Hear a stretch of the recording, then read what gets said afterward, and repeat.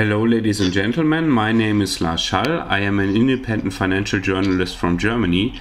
And on behalf of Matterhorn Asset Management, I welcome you to a special interview that I will now conduct with Keith Barron in Washington, D.C. Keith is an exploration geologist with almost 30 years of experience in the mining sector. Hi, Keith. Hello there, Lars. How are you? Very, very well, thank you. Okay, great. Let's start. Uh, why are you working in gold exploration and how did it all begin for you? Well, it, it all began for me a long, long time ago. Um, I was born in Canada, but I went to school in, in Great Britain and I took geology uh, as a, a, course, a two year course in, um, back in high school. And uh, the uh, it had just been introduced into the syllabus for the very first time, and uh, it's an amazing thing. There were four students in that class who all became professional geologists.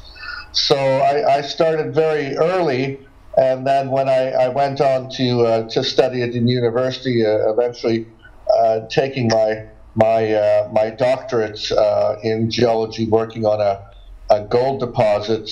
up near the Red Lake camp in Canada.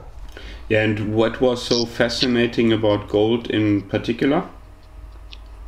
Well, I've always been very, very interested in it. Uh, my father had a very passionate interest in uh, in gold uh, as a uh, investment tool, and in fact, he started to buy it in 1966 before anyone really thought about it, and it was a constant uh, uh, a constant topic of discussion at the dinner table. Um, so when I started to uh, to do gold exploration for a living, uh, he uh, he very much encouraged what I what I did, and uh, I just found it fun, very fascinating, uh, a lot of interesting characters that I came across, and uh, it's been a very rewarding career for me. Um, I've not just worked in gold, but, but in uranium and diamonds and many, many other things. And uh, it's uh, taken me all over the uh, all over the planet. Is it harder to find gold these days compared to the past? Yes, I, I really do believe that it is. Um, we have a saying in the business that a lot of the low hanging fruit has, has been picked. I think that's certainly the case. Um, in um, the mature uh, gold camps of the world, like uh, Kalgoorlie in Western Australia or Timmins in Canada, uh, it's getting much, much harder to find uh, gold deposits. You have to go deeper with drilling, uh, you have to use a lot of expensive geophysics, and uh, it's not like the old days where you could just stroll around on the surface and, and make gold discoveries. Um, that still is possible in some of the frontier areas of the world and, and some areas that are, are really uh, less than attractive for exploration, uh, where there's uh, war zones going on and things like that. Um, those are really uh, the last uh, the last frontiers to go and, and, and find the uh, the very big gold deposits close to the surface, I believe. Is peak gold an issue for you, therefore? Uh, yes, very much so. In fact, I, have lectured about this in several places around the world. Um, I, I, really do believe that uh, we have seen uh, peak gold, and um, certainly a lot of the gold deposits being brought into production these days are um, around one gram one gram per ton. Uh, historically, uh, mining companies wouldn't touch such grades. Uh, reason being, there's very, very little uh, cushion, um, you can't really go any lower. Uh, you always have to leave something uh, in the ground. Your recovery is never 100%. And uh, with one gram per ton, your margins are very, very slender indeed. If the gold price should go against you, um, you really could put your, your company into uh, real jeopardy. Uh, but the problem is that there aren't that many uh, robust, uh, high grade uh, gold deposits being found out there. Um, my own discovery at Fruta del Norte in Ecuador um, in in 2006 is uh, really there's there's been uh, nothing since since then of a similar grade and a similar tonnage. Um, and that's uh, that's very unfortunate. I think it's the fault of of um, the industry which has played a very, very conservative book and uh, really doesn't want to spend money on grassroots exploration. Is peak gold something that an investor should take into account? Uh, yes, I, I think so because um, the appetite for gold in in the uh, the Far East is voracious, and um, that's where the the bulk of uh, the newly mined gold is going, of course, and um, you know uh, there's uh, gold is a finite thing. It's uh, what we call a wasting resource. When you open up a gold mine, eventually the mine's going to be exhausted. And uh, I, I, think we have hit a time in world history uh, where uh, people will not be finding too many very, very large gold deposits going forward. And um, we'll just have an ever diminishing number of um, smaller and lower grade deposits to go after. Keith, why would you say are gold mining companies having a difficult time in general? Well, this is a legacy issue that goes back uh, about 10 years, uh, maybe 15 years, uh, when companies really believed that they had to be the biggest out there to attract the uh, the interest and the attentions of the investors and of the fund managers out there. So there were a lot of um, companies that acquired uh, very, very low grade resources or expended a lot of money on um, the uh, the low grade envelopes of the deposits they already owed, uh, they own, uh, rather than going out and, and finding uh, newer and, and high grade uh, deposits. And of course, you know, there were a lot of people who thought the gold price was going to zoom uh, past $2,000 per ounce, and that didn't happen. And when the market turned the other way, they got they got caught short. The other thing that also happened was that um, companies became accountable uh, for their all-in costs, uh, and they weren't really being upfront uh, with um, the total cost of mining gold. Uh, they gave us um, production costs, and, and uh, they were hiding things on balance sheets, and really trying to disguise the fact that for the senior gold producers, making producing gold was not a very viable business. Um, since then, um, a lot of uh, companies have shed uh, their less profitable assets. Uh, they've shrunk down in terms of resources and reserves, and uh, and they're. Um, I think really they're high grading their ore bodies uh, to stay alive. Um, and how hard is it for them that the gold price is below the production costs? Well, yes, you know, when you're in a, situa- a situation where uh, the gold price is below production cost, then uh, it's a very curious thing. So uh, it's a situation where they're high grade, going after the highest grades they have in their mines. Um, leaves them with very little cushion or none at all um, in go forward basis. So I, I this is uh, this downturn that we've seen in the gold price. It's uh, approaching uh, twelve hundred dollars right now per ounce. It's very very scary for the senior mining companies. Will they do better in the future? Well, I think what we'll see is a, a lot of upheaval, a lot of volatility uh, amongst the, the, the, senior gold miners. I would expect that some of them are going to, um, well, uh, we've already uh, had uh, a lot of discussion about Barrick and Newmont getting together. I could see um, companies like BHP or RTZ uh, going after some of the uh, the more productive uh, of the uh, the gold mines in the world and gold companies. Um, and I think some of the companies are going to get going to get broken up. I think some of them right now um, their uh, book value is uh, is lower now, and their stock market value is lower than uh, the replacement value of the asset.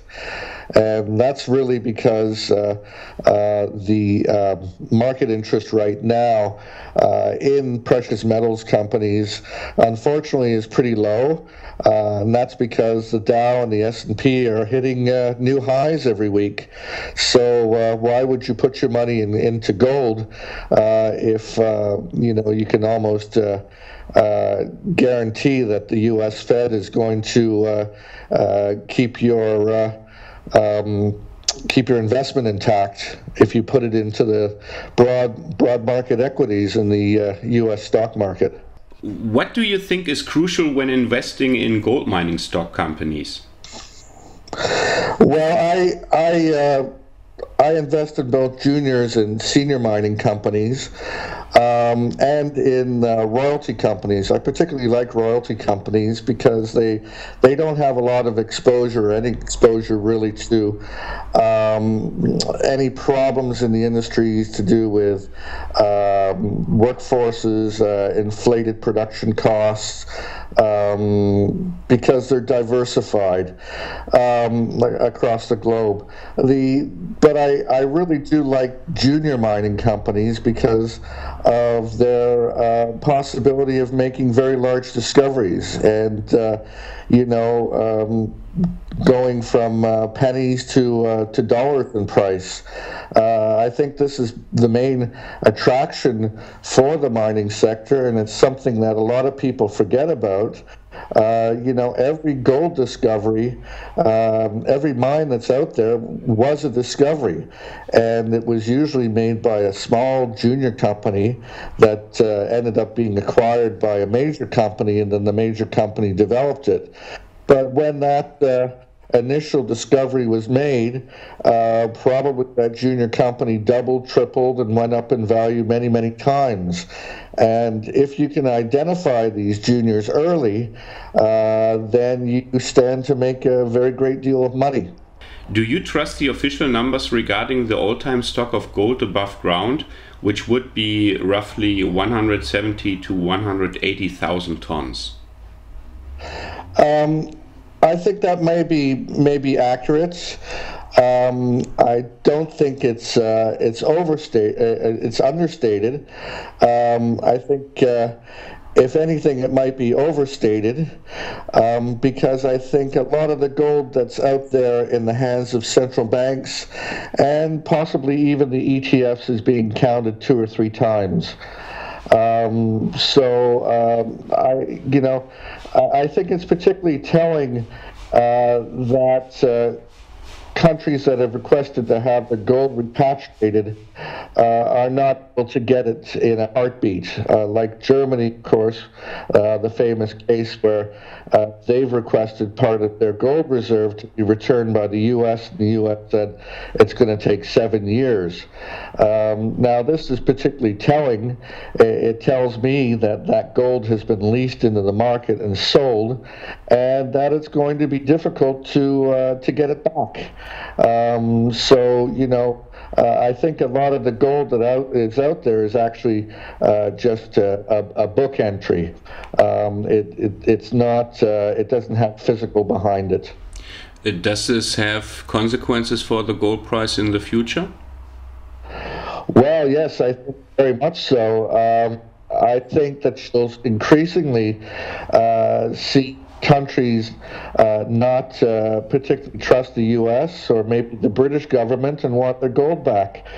Um, and uh, it's, uh, I think it's got uh, very, very um, the the consequences for the gold price are enormous. Um, I think eventually, eventually, um, one of the ETFs out there will be shown to be um, lending out gold and not having the gold in the vaults that they say that they have. Um, it's there's just so so many of these things that have uh, have uh, shown up, so much money uh, that's been uh, poured into them that I think uh, this will be some sort of fraud at, at some point. It seems too uh, too easy uh, to me. So um, I think this is uh, one of the things that could uh, potentially trigger a, a, much higher price, a, a, big scandal in the ETFs, or one of the uh, countries going rogue and demanding all of its gold uh, back out of uh, uh, Western banks immediately. So I would think that you do not perceive the gold market as a free market. Oh no, I don't think it's been free for years, um, and uh, the gold price is very much guided by the paper gold market, by the futures, and uh, not by physical. Uh, there's a real split here. Um, and um, periods over the last couple of years, it's been actually very difficult to accumulate a large amount of physical gold. It's just been impossible to, to find it out there. Um, I think what happened uh, a while back with the, uh, the gold plunge from $1,900 uh, down to 1100 was an orchestrated attack uh, on the gold price uh, by the bullion banks. Um, we've got all kinds of smoking guns all over the place. Uh, we know uh, there were massive amounts of gold sent from uh, the UK to Switzerland uh, to be recast from 400 ounce good delivery bars into kilo bars, and the kilo bars is what the, uh, the Asian market prefers. And uh, so I think a lot of the bullion banks who have the capability of withdrawing uh, bullion from the ETFs uh, were arbitraging, making maybe 40, 50, 60 dollars per ounce and not really giving a damn about the price itself, but uh, the ETFs and sending money, uh, sending the gold uh, to the east. And that's where it is now. And it's not going to come back out of there uh, in a heartbeat. It's gone to India, it's gone to China. Uh, it's going to be very, very difficult to uh, uh, to get the Chinese and the Indians to release that gold uh, back into the market. It's just not going to happen. It's to all intensive purposes, it's off the books. But do you think uh, the day for physical gold will come, and the paper oh. market oh. will be crashed? I, I, I think the the COMEX is uh, is going to uh, come apart at some point. Uh, it wouldn't take uh, too much for somebody like a Warren Buffett or a Bill Gates uh, to uh, to raid the COMEX and demand delivery, and they cause all kinds of havoc. Uh, it, it's not going to take a huge amount of money these days because I think the physical is just not out there to be found. So uh, somebody will get wise to this, and uh, you know we could see uh, kind of like a Bunker Hunt thing, uh, cornering uh, the gold market. The the Hunt brothers did with the silver market 1980, and some make huge money uh, and it's going to be a rogue uh, foreign government. Uh, who knows? But uh, it's a very precarious situation, I think, uh, uh, with this with this paper market. Um, you know, the the positions get rolled over. Um, there's no real uh, physical gold that has to be found to, to back all this stuff. And uh, the claims on every ounce of gold are, are more than uh, 100 times uh, the physical out there. So it's, it's, it's a crazy situation. Could you tell us a little bit more about one aspect of a manipulated gold price? Namely, what does a suppressed gold price mean for third world countries in their mining business?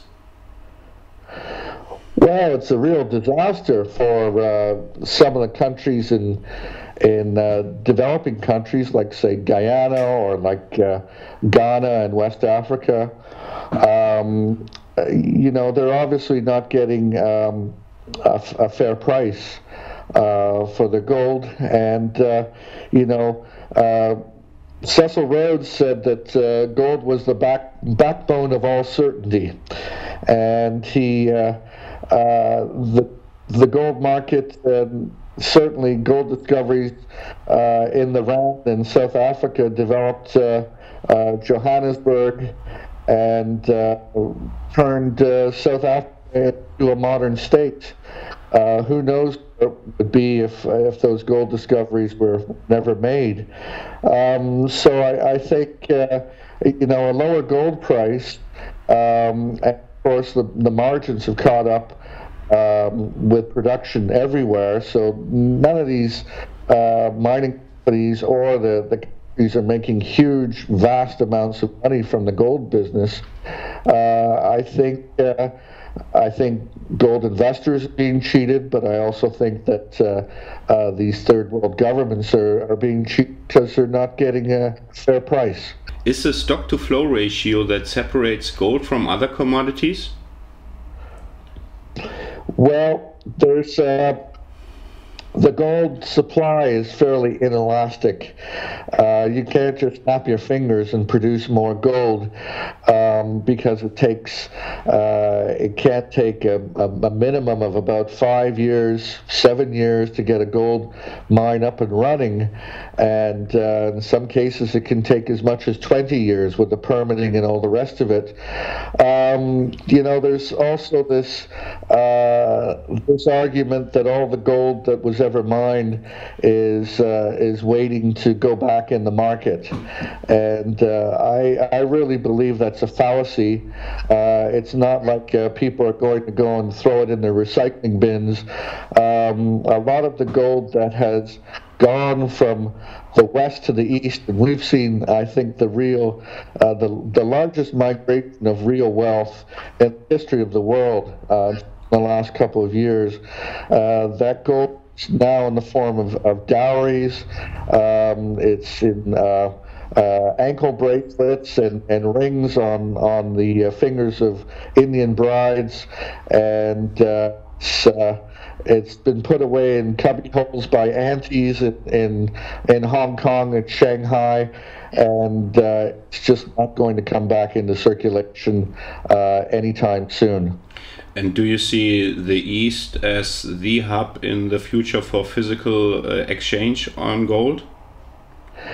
Uh, I think so. I think that uh, they will continue to develop Shanghai, uh, but also I think we see some other places um, springing up in the east, and uh, a market uh, in uh, in Dubai. Um, I know that uh, the Arab countries argued back and forth about a gold dinar for many years. Um, that certainly would be a very solid currency, um, and uh, the Arabs like to be paid for, for their oil and gold as well.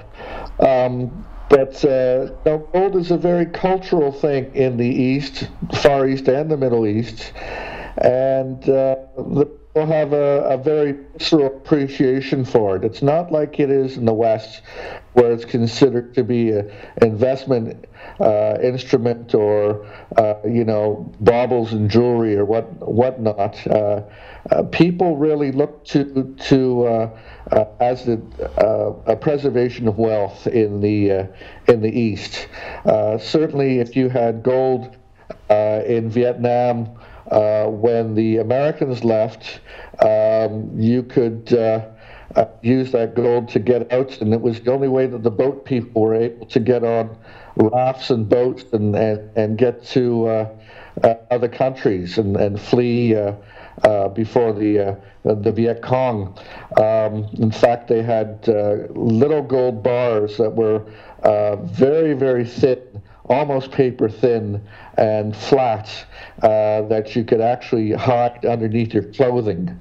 Um, you can still find these bars on uh, some of the uh, uh, the websites. Um, yeah, so it, it, it's a very, very important, strong uh, cultural part of, of life in, in Far East in the Middle East. Do you think that uh, you will be able in the future to pay for commodities in gold, uh, for example, oil, hard asset for hard asset? I think that's uh, I think that's coming. Um, there are one or two countries that uh, already do that. I believe that Turkey's been paying for uh, their oil and gold, um, and uh, uh, you know, the, the American dollar is in a precarious position because if the Chinese decide that they're going to get out of the American dollar, they're going to smash it. Uh, so it's kind of a, a, mutual destruction thing right now, but it's not something that's going to last. I, I, think eventually the, the Chinese uh, will abandon the US dollar. Uh, the Chinese have been accumulating uh, gold like uh, like crazy.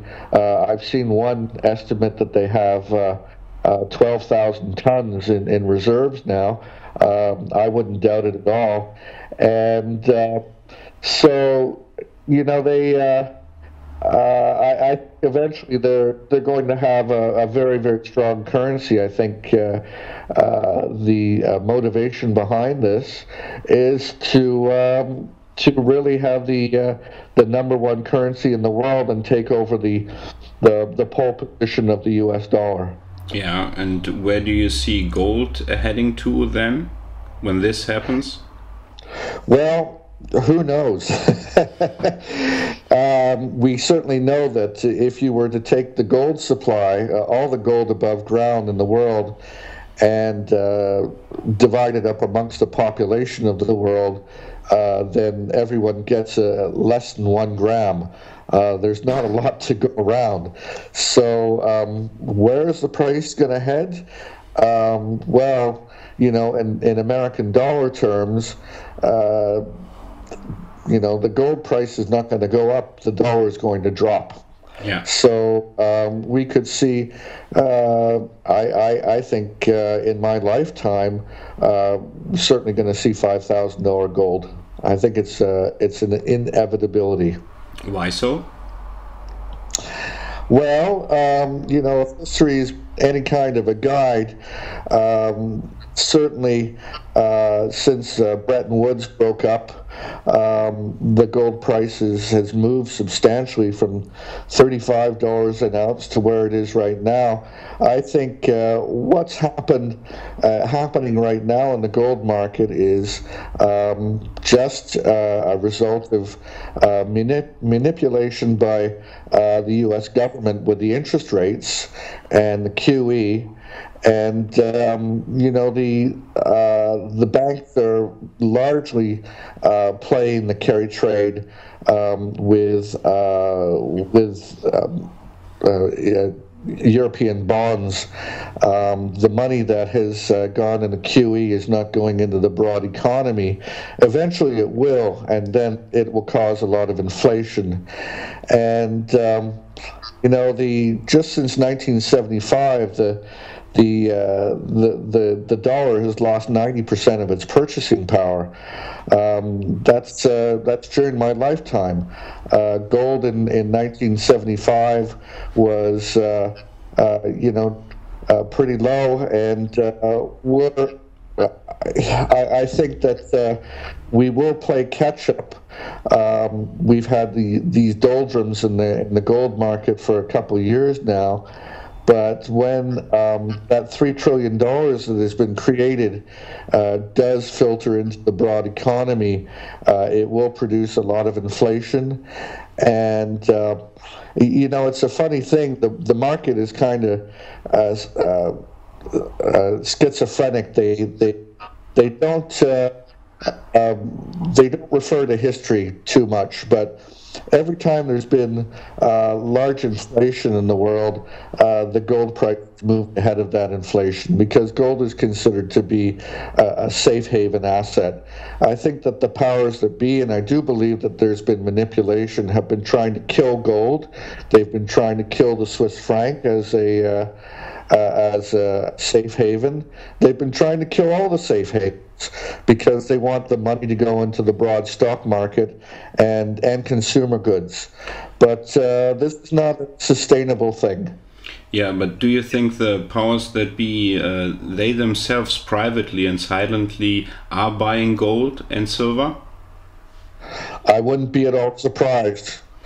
Yeah, I, I, I think uh, um, it's, uh, it's it's quite possible that uh, um, the Warren Buffetts of this world are uh, are quietly accumulating. Who who knows? Who knows? Um, it it could be uh, uh, certainly going on. I think the more savvy people out there have to look at the um, the alternative and you know, it's obvious to everyone that this this QE, this injection of large amounts of money, which is going on worldwide right now, is going to end badly, and it's always ended in the past in, in inflation and eventually in hyperinflation.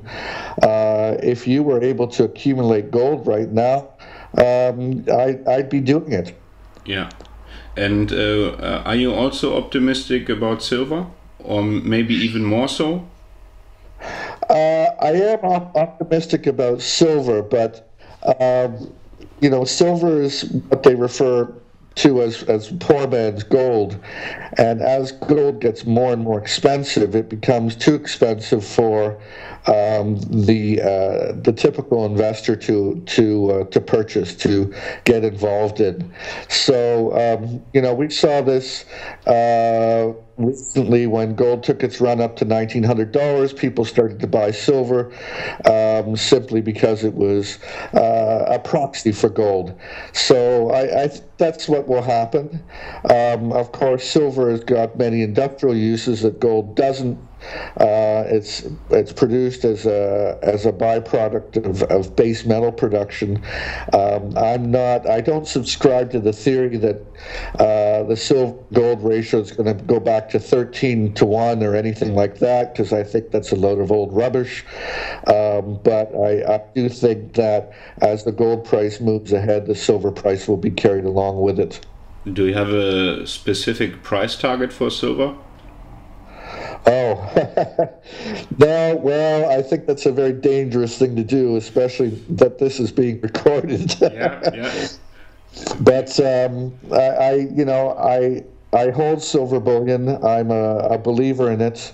It's part of my uh, my investment portfolio, and um, I I do believe that I'm going to uh, to do very well with it. Okay, and how about uh, mining companies in silver?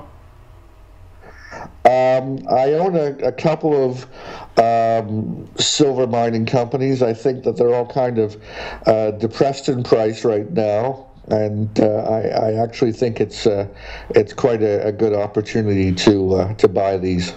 Okay, and do you think uh, coming back to gold? Uh, do you think with the mining companies one could make actually gain more than with the physical gold? well, in the past, um, the um, the mining companies have outperformed uh, the price when, when there's been a sudden run up.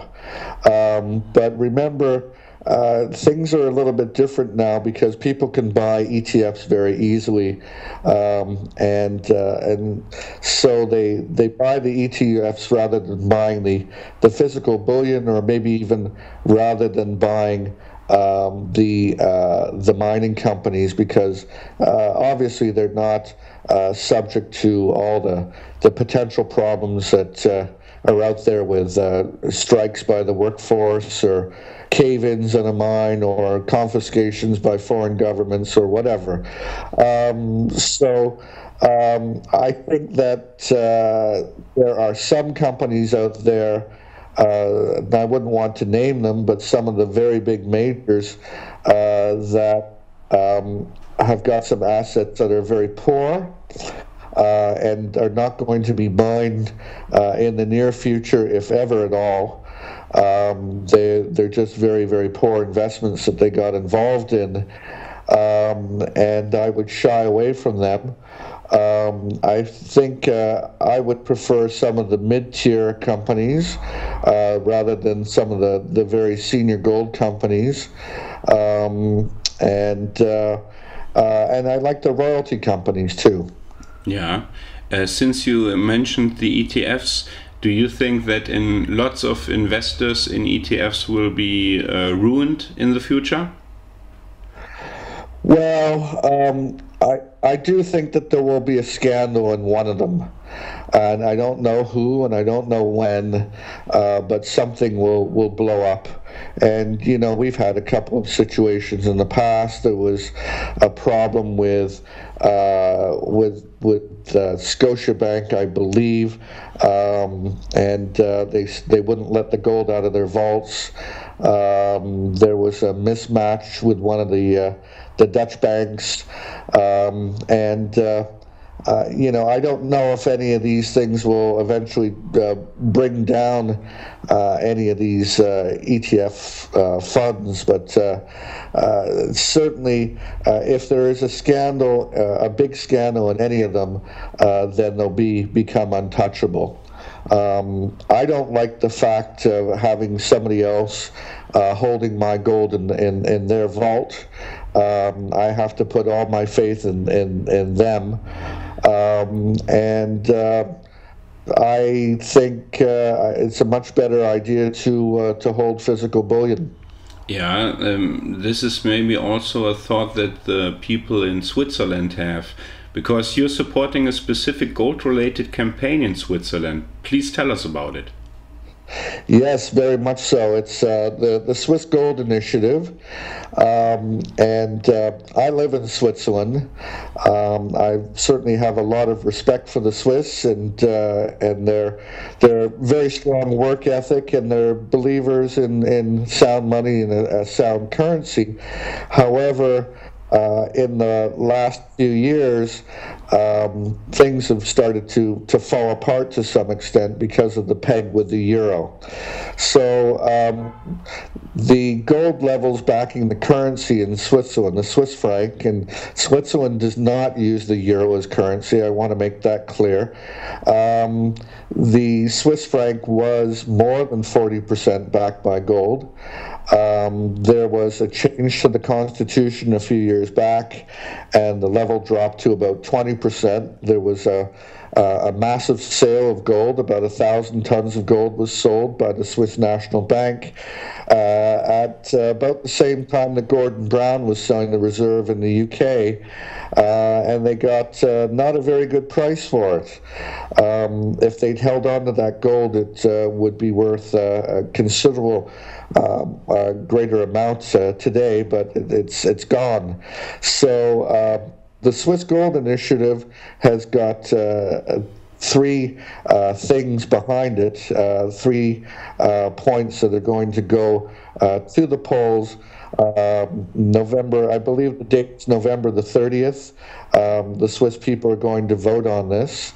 Uh, the first point is that uh, the um, the gold uh, currency uh, should be back 20%, or, or, the Swiss franc should be back 20% by gold. So, uh, 20% of the uh, the foreign reserve uh, held by Switzerland should be held uh, in in the held as gold.